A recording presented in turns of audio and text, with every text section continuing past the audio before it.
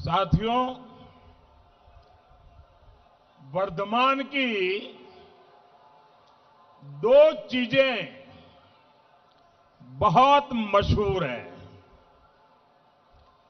एक तो चावल और दूसरा मिहिदाना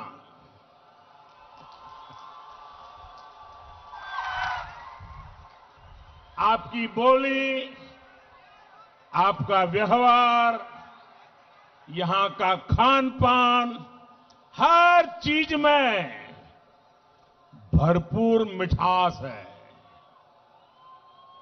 है ना? है ना? हर चीज़ में मिठास है ना? जरा बताइए ना, है ना? है कि नहीं? है ना? अच्छा तो ये दीदी को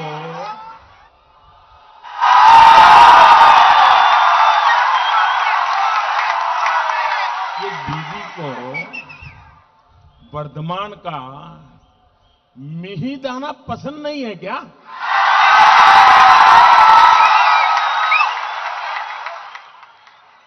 मैं हैरान हूँ।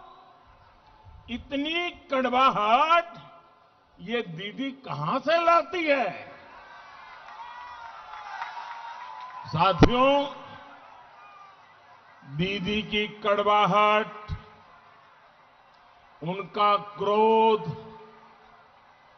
उनका गुस्सा, उनकी बौखलाहट दिनों दिन बढ़ती ही जा रही है। बढ़ रही है ना? जानते हैं क्यों? मैं बताता हूँ। क्योंकि बंगाल में हुए आधे चुनावों में, अभी तो चार राउंड हुए हैं, चार होने बाकी हैं, आधे चुनाव में आपने टीएमसी को साफ़ कर दिया।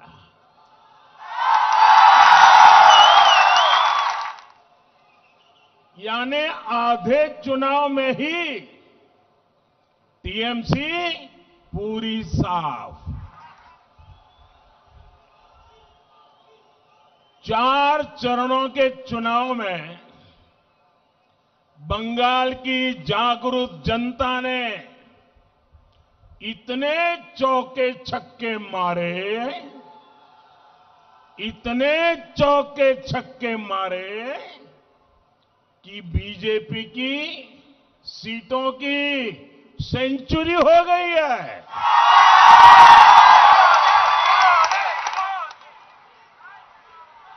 जो आपके साथ, जो आपके साथ खेला करने की सोच रहे थे, उन्हीं के साथ खेला हो गया है।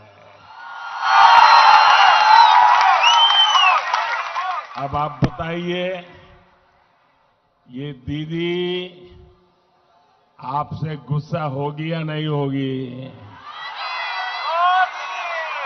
एक तो नंदीग्राम में बंगाल के लोगों ने दीदी को क्लीन बोल्ड कर दिया। यानी बंगाल में दीदी की पारी समाप्त हो चुकी है। दूसरा, बंगाल के लोगों ने दीदी का बहुत बड़ा प्लान फेल कर दिया। बंगाल की जो जनता है, बहुत समझदार है। यहाँ के लोग बहुत ही दूरदृष्टा है। दीदी तैयारी करके बैठी थी कि पार्टी की कप्तानी भाईपो को सौंपेगी। लेकिन दीदी का ये खेला भी जनता ने समय रहते समझ लिया। और इसलिए दीदी का सारा खेला धरा का धरा रह गया।